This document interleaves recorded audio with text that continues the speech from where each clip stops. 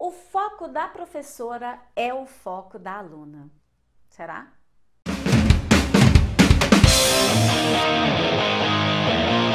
Olá, gente dançante, tudo bem? Não se esquece, o áudio desse vídeo já está disponível no News Leão Podcast. Baixa diretamente da iTunes Store ou então do site que eu sempre deixo aqui para você na descrição desse vídeo. E hoje eu vou ler o e-mail de uma das minhas seguidoras que ela traz uma série de coisinhas que eu acho que vale a pena a gente discutir aqui. A Érica Silva me fala o seguinte: em relação aos conteúdos teóricos, até onde precisamos saber para passar para as alunas? Exemplo, musicalidade, figurinos, técnicas psicológicas para um improviso, etc. Todas nós sabemos que a maioria procuram aulas de dança do ventre apenas para seduzir ou para emagrecer o que não é um problema. Mas em um dos lugares que eu ensino, o intuito é formar as dançarinas e detalhar todo esse mundo árabe para elas pode acabar desanimando e desanimando também a professora. Afinal de contas, o foco da professora é o foco da aluna, né? Sinto receio em não conseguir conquistar o meu povo. Em primeiro lugar, Érica, muito obrigada pelo seu e-mail. Me desculpa só estar tá podendo gravar esse vídeo agora para você. São muitos e-mails, mas eu quero te dizer que eu não sei se eu concordo exatamente com tudo que você falou aqui, principalmente no que diz respeito ao foco da professora ser exatamente o foco da aluna. Eu acho que não é bem assim tão a ferro e fogo. O que eu acho é que a professora, ela tem que ter muita clareza do que ela quer ensinar e como ela quer ensinar.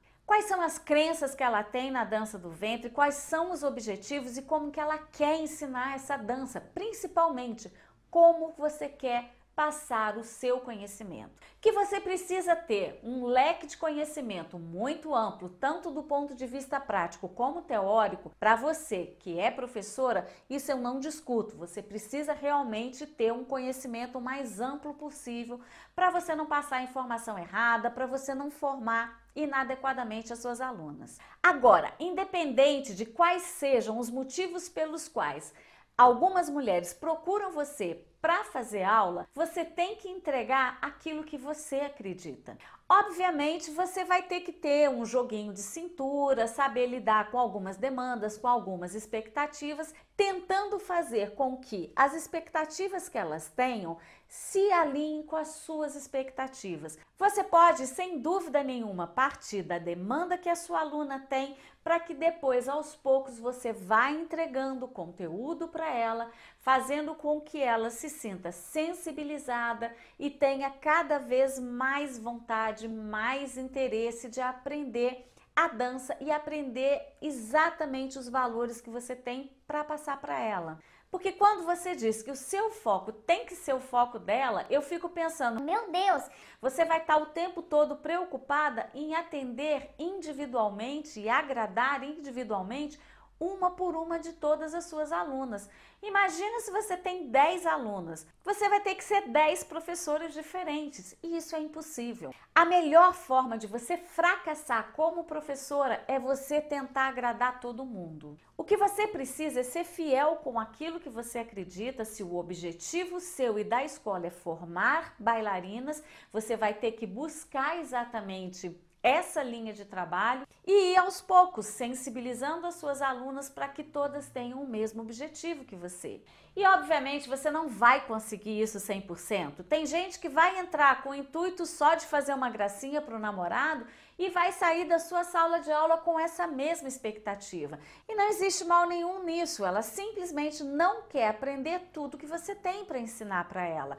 E tá tudo bem. Outras vão entrar com esse propósito e vão acabar se apaixonando pela dança do ventre e até fazendo carreira como bailarina, como professora. Quantas histórias dessas existem no nosso meio? Ou seja, fique atenta às demandas das suas alunas, Tenha muito claro quais são os seus objetivos e qual é o seu papel como professora e vai alinhando isso. Em alguns momentos você vai ceder, em outros momentos é a aluna que vai ceder. Desde que isso não tire a linha mestra do seu trabalho, você pode negociar expectativas, tanto suas quanto delas, de uma forma que vocês consigam fazer um trabalho bem produtivo. Isso é muito possível.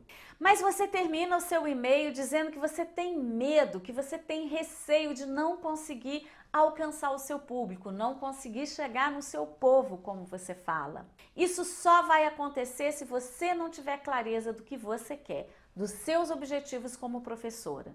Se você tiver essa clareza, se você tiver essa confiança e não tiver medo de perder a aluna, você com certeza vai achar o seu público.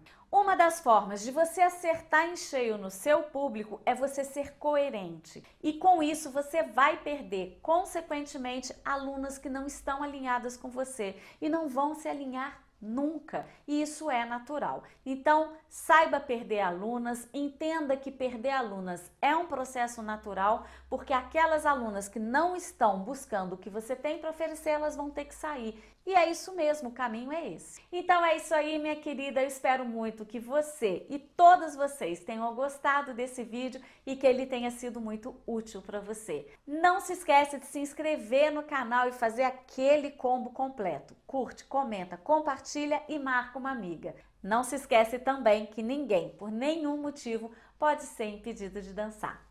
Um beijo muito grande para você e até o nosso próximo vídeo. Tchau!